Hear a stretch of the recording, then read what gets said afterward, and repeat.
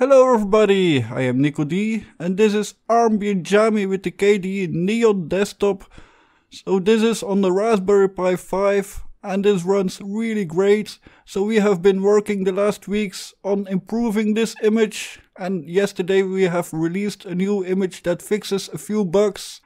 So now this image really is awesome, it really looks awesome, I really love it. So let me show you NeoFetch. Here is NeoFetch and here is Helix Info. So we are using the Broadcom V3D GPU driver and we are on the Raspberry Pi 5 Model B. And here let me show you about this system.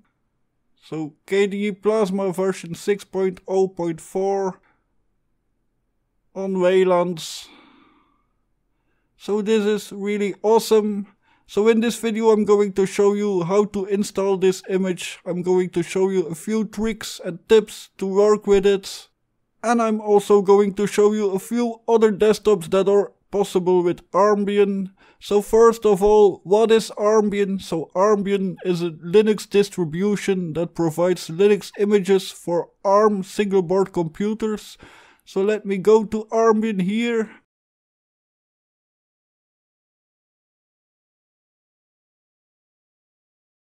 and to downloads and there you see Armbian supports a lot of boards but even a lot more that are not supported.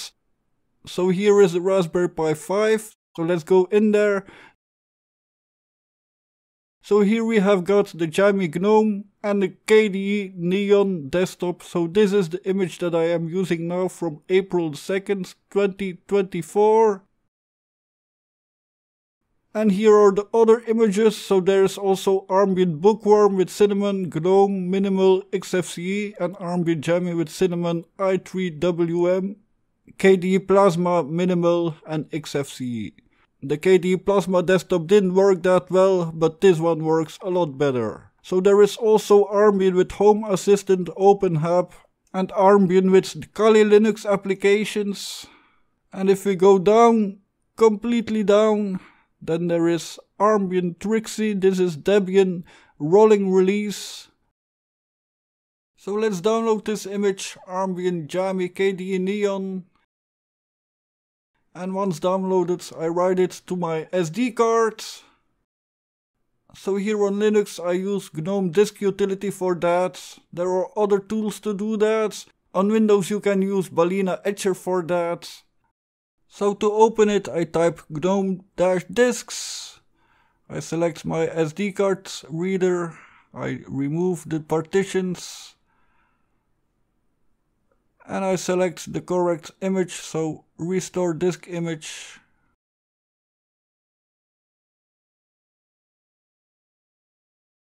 And here it is.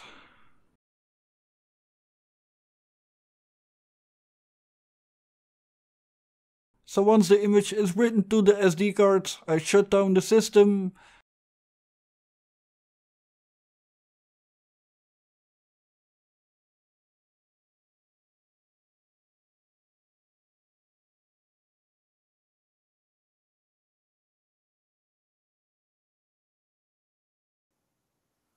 I take out the SD card that's in it and I plug in the new SD cards and I boot it up by pressing the power button.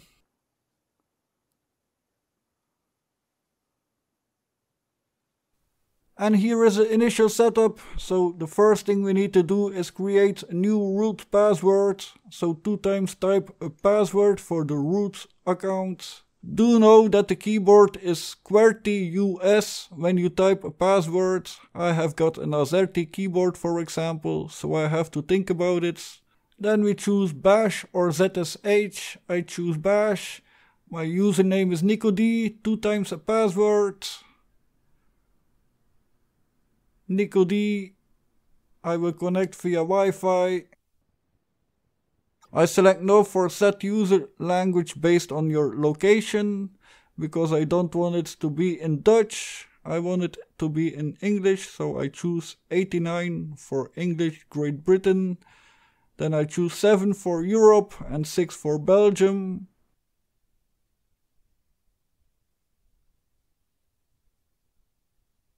And here we are at the login screen of KDE. So type my password and I can log in for the first time. Again, I am forgetting that I am using QWERTY on Azerty.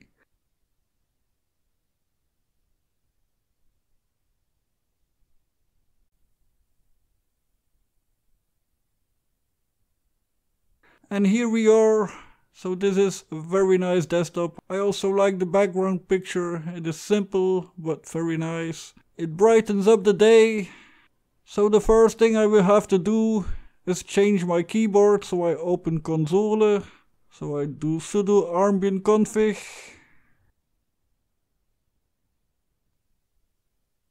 I go to personal keyboards and there I set it to Belgium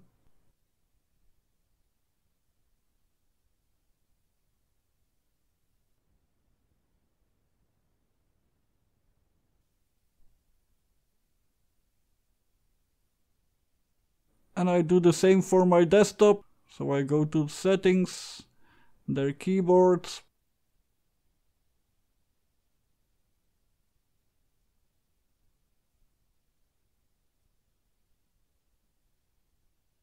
Belgian. And now I have got the correct keyboard, so the first thing I do is sudo apt update, but since these images are brand new, there is nothing to update.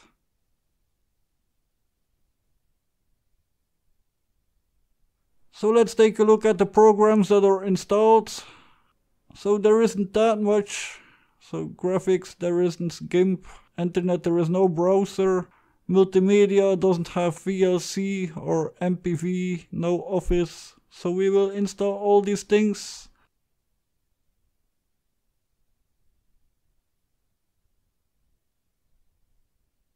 So let's start to install a few programs. So sudo apt install GNOME, Disk Utility, MPV, VLC, Geany, though Geany doesn't work that great on here, GIMP. Let's start with that. So I forgot about LibreOffice, so install LibreOffice, so do I have to install LibreOffice. And now we need a browser. So this is kind of a problem on Ubuntu, but we have a fix for that later on. So first, if we want to install sudo apt install Chromium browser, it says that it is already the newest version, but there is no version for Chromium in apt. So if we want to open it, Chromium browser, it says you have to install it with Snap, but the Snap version of Chromium isn't that good. But let's install it, so Snap install Chromium. This takes a while, So I let that install and after 5 minutes my display falls out. So it goes to the login screen. So I will show you how to disable that. It should be easy but there is something you should know about it. So now Chromium is installed so let's open it, type Chromium and there is also an icon on my taskbar. So now let's change that it goes out after 5 minutes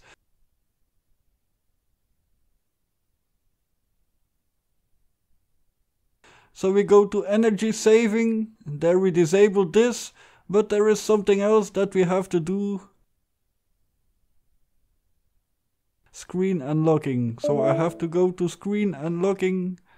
There are a lot of settings to choose from, maybe a bit too much. And here I have to disable this. So there are two programs that work against each other.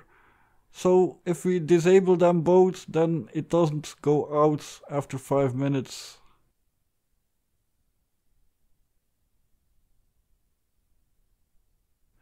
So now let's show you Chromium. So it isn't that good as I said. So let's go to the web WebGL Aquarium.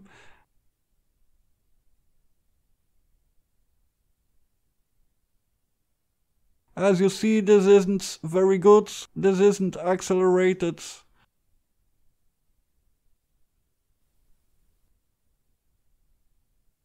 And let's open a YouTube video from NicoD. This is also not accelerated, but for the Raspberry Pi, we don't have much better for Ubuntu right now. So it can play 1080p fine, it can even play 1440p fine, but it cannot do 4K. So one problem I've got here is my capture device doesn't capture the sound, but the sound does work, so HDMI sound does work.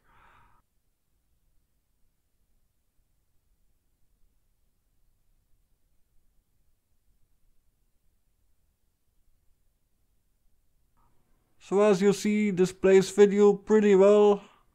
So I told you there is something better than Chromium that we could use, and that is Thorium.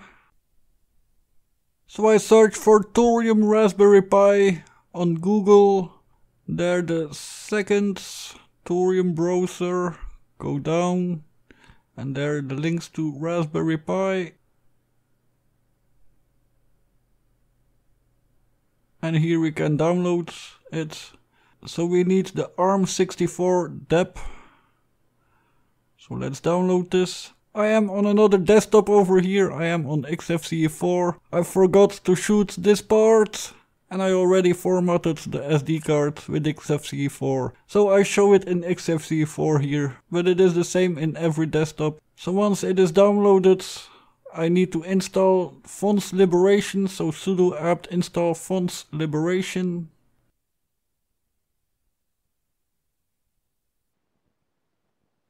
And after that we can install the deb package, so sudo dpkg i for install and Thorium browser the version .deb. After that it is installed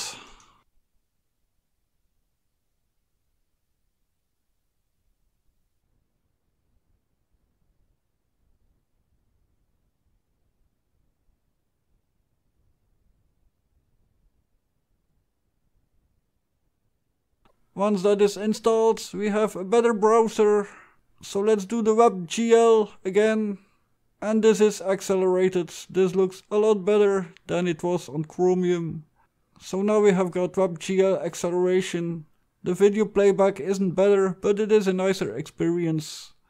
So now let's do a 7-zip benchmark to see how it performs. So of course we can overclock this like with any other Raspberry Pi operating system.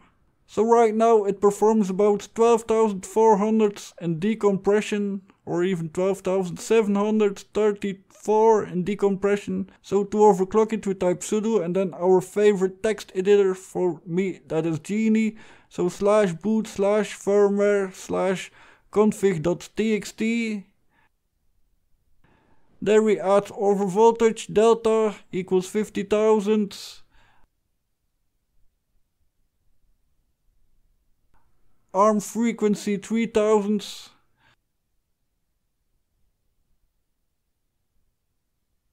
GPU frequency 1100 for me this is stable.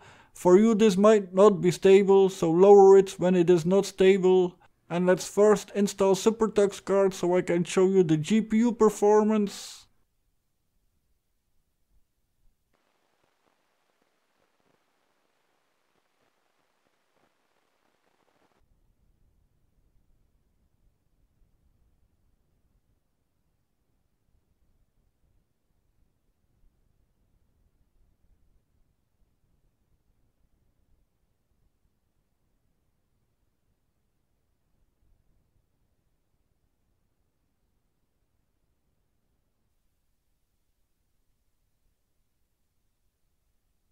So this is about 17 frames a second. So now let's reboot and see how the overclock does.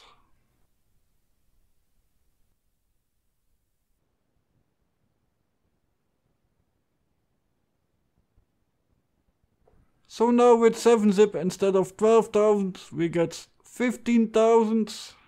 So that is a huge increase in CPU performance. And now let's run Super SuperTuxKarts.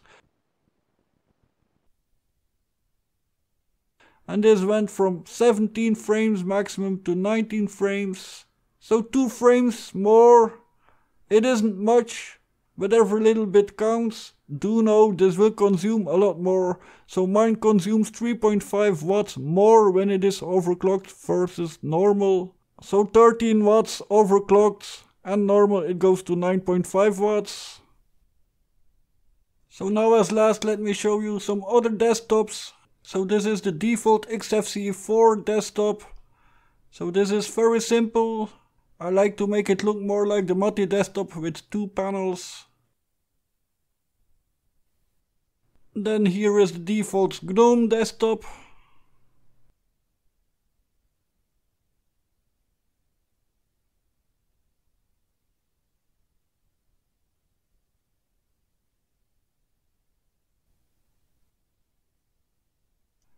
And here is the Cinnamon desktop. So that will be it for today. So KDE Neon is really awesome on Armbian Jammy. You can run it on other SBCs, but I wanted to show it on the Raspberry Pi 5 here in this video. So you can also build your own Armbian images. Watch my video build your own Armbian images. I must thank Igor and Cornelius for helping me fix some bugs. I had some issues and now everything is fixed. We have fresh images, so I am a very happy man. So thank you all for watching. Please like this video, subscribe to my channel. See you all later. Bye.